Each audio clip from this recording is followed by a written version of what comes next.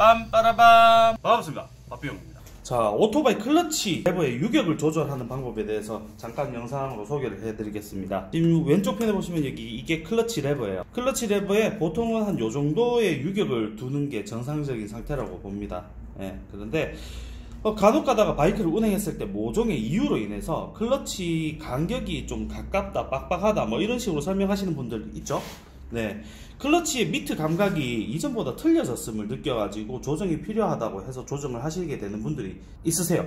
근데 주의할 점은 아, 물론 조정 자연스럽게 조정할 수도 있다고 생각하지만 보통은 클러치의 meet 감각이 이상해졌다라는 것은 클러치 디스크 쪽에 문제가 발생을 했던가 아니면은 요 클러치 와이어에 끊어짐, 끊어지기 직전 뭐 이런 상태라고 보시면 될 거예요. 점점 점점 이 클러치 감이 그러니까 클러치 레버를 잡았는데 기어가 자꾸 뭐랄까 잘 들어가지도 않고 중립도 잘 안 들어가고 시동도 꺼진다. 클러치 자꾸 기어를 넣는데 그러면은 클러치 점점 이거를 띄어 가지고 이거를 풀어주면은 풀어줄수록 보세요. 지금 늘어 빡빡해지죠, 그죠? 예, 유격이 점점 없어집니다. 이렇게 하면 점점 클러치를 더 많이 동력 차단을 더 확실하게 되게끔 이렇게 조정이 되는데 이게 점점 가면 갈수록 풀어주면 풀어줄수록 이게 점점 점점 계속 변경 변경이 뭐랄까 변화가 있다. 고정이 안 되고 자꾸 바뀐다. 그러면은 어딘가에 문제가 있는 거예요. 클러치 디스크가 이미 많이 딸려가지고 문제가 생겼든지. 보통은 열의 아홉은 이 클러치 와이어에 끊어짐 때문에 보통 이런 일들이 많이 생깁니다. 그리고 그 외에 어, 열의 하나 정도는 클러치 디스크의 마모로 인해서 그런 경우가 발생하는데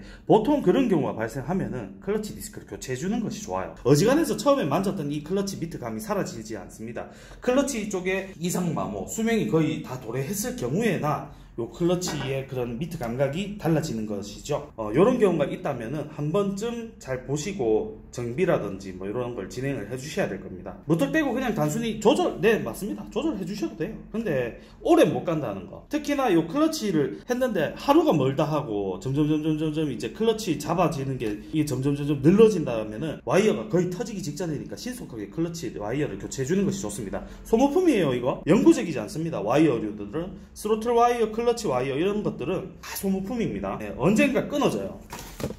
투어 갔을 때 실컷 잘 타고 갔다가 끊어지죠. 재수 없다고 끝낼 겁니까? 아니에요. 당연히 끊어질 게 끊어졌는데 그걸 알아차리진 내가 문제입니다. 조금 보면 조금만 보면 어 이게 나중 가서 알게 되겠죠. 용달 차 불러서 싣고 가면서 어 이게 왜 이러지 하면서 결국 센터에서 보니까 아 클러치 와이어 터졌다, 스로틀 와이어 터졌다. 그러면은 스로틀 와이어 터지기 직전, 클러치 와이어 터지기 하루 전, 이틀 전쯤에 최소한 그 증상 이상 증상이 분명히 있었을 거예요. 근데 나는 그거를 간과하고 지나갔다. 어, 이, 이렇게 되는 거죠. 네, 일단은 요 간단하게 이런 클러치 부분에 대해서 간단하게 뭐 말씀드렸습니다.